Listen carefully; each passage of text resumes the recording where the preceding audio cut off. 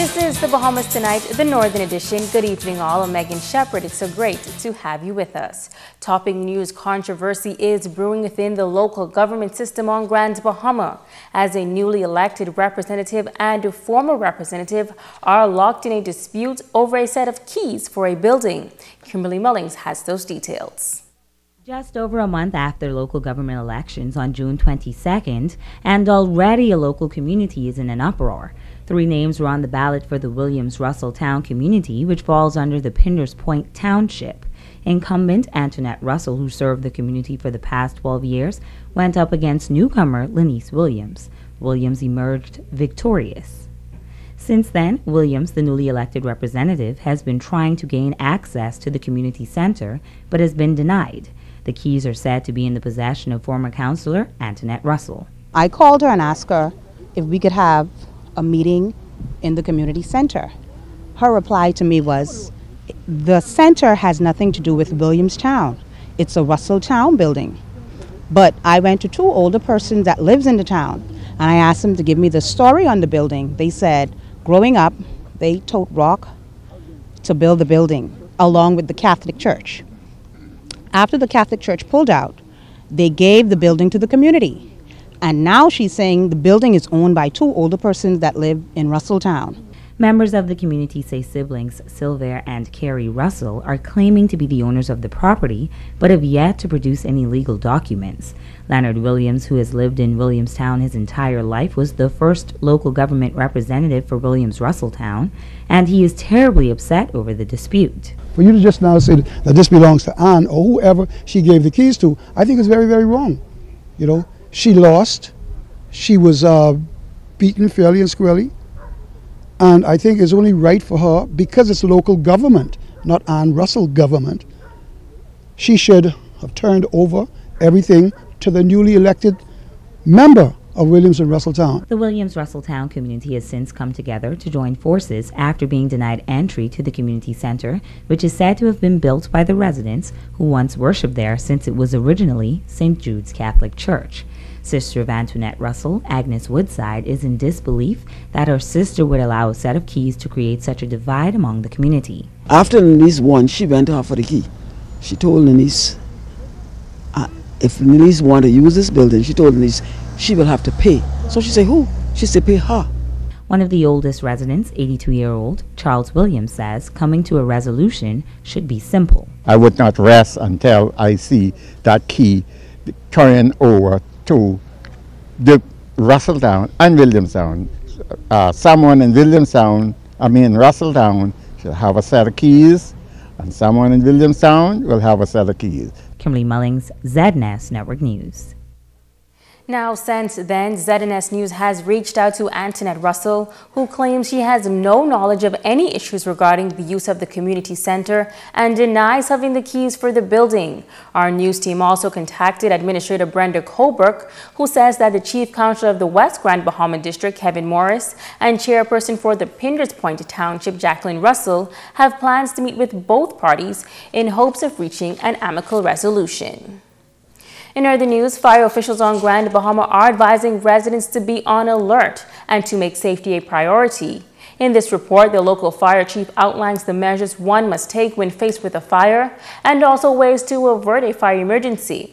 Natalia Hall reports. Last year, the Royal Bahamas Police Force Fire Department on Grand Bahama recorded a total of 404 fire calls with an estimated damage of $4,773,118. There were a number of injuries as a result of burns recorded as well. Fire officials on Grand Bahama outlining the process when persons call to report a fire. First, they would usually speak with the dispatcher, who would then relay that information to the fire team while they are en route to the location. Inspector Eli Arisker says there are some vital questions a dispatcher would ask when there's a fire emergency. Times persons ask, why you tell ask me what's, what's my name, what's my date of birth, all this, but these are pertinent information that we need in order for our trucks to be able to respond properly and get the exact location. Now, firefighters also have to protect themselves before going out to fight a fire. First, they put on their gear and they take this device along with them to protect themselves from inhaling smoke. They always have a PBA on, which means an event that they have to go in a building that is burning to rescue someone, uh, do search and rescue, or just to go deeper into the building to find the, the, the, the source of the fire, they would put those tanks on so that they could breathe properly. And a lot of persons will think it's similar to like the scuba diving tanks, but for us, they are the personal protective tanks. He also spoke about the importance of safety. He says during the summer months, many children are left home alone. Inspector Arasker has this warning for parents. We would ask their parents to, uh, if they don't have an older person involved, um, just teach them the basic safety skills. You know, no playing with the matches in the house, no no candles, um, don't play with the stove. Um, even with flying kites outside, be careful of the electrical lines because if the kite run on the line, that's a, that could be they could be electrocuted. So we want to be of parents be mindful. Another troubling issue, he says, are increased reports of persons leaving gas tanks in their homes. I want to advise persons um, to refrain from that practice um, because you don't know when there's a leak and with the type of gas that is used, um, you wouldn't, you, you can't see it. You might have a faint odor, but you won't see it. The only time you know you smell LPG gas is when it's nearing the end. Reporting for ZNS Network News, I'm Natalia Hall. Another warning is going out tonight to help safeguard and preserve the innocence of our nation's youth. Police officials say summertime is one of the peak periods when many children become the victims of sexual abuse. Our ZNS News team spoke with Assistant Superintendent of Police Teresita Pinder, and she is appealing to parents to talk to their children about what sexual abuse is and to develop open lines of communication. Sometimes there are no signs. Um, predators comes in all shapes, form, and sizes. Um, there's, there's no sign. Um, so you as a parent need to be very strict about who you allow around your children. You know, I always advise parents. I say you can't, you don't know who, you don't know who they are, where they are, who they come from. You don't trust anybody with your, with your children. Sometimes family members themselves are not the, the safest place to, to to leave your children at. But that is where open communication comes in with your child. At the end of the day, at the first day when you leave them there, you'll ask at the end of the day, are you, you feel safe being there? Um, are you comfortable being there? Talk to your children and they will be able to tell you. ASP Pinder is also advising children to never be afraid to confide in someone if they are being sexually abused by a loved one or family friend.